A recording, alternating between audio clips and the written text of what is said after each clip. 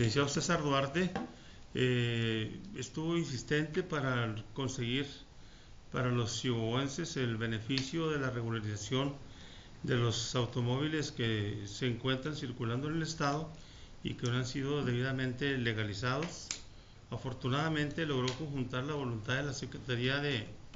Economía con eh, la presidencia de la Asociación Mexicana de Propietarios de Vehículos y, se estableció ya el acuerdo mediante el cual se van a regularizar alrededor de 150 mil vehículos que circulan en el estado y que no han sido debidamente legalizados.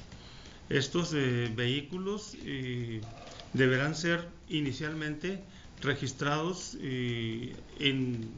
lo que se denomina el registro público vehicular. tendrán que ser revisados para confirmar que se encuentran en condiciones de circular, o sea, el engomado ecológico,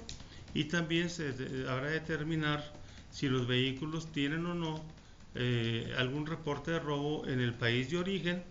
caso en el cual, pues entonces, eh, si, si, existe algún reporte, pues no podrán ser fronterizados.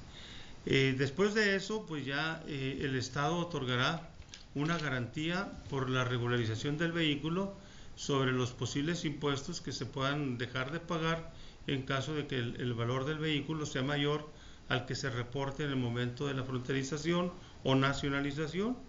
Eh, podrán ser fronterizados los vehículos que tengan cuando menos cinco años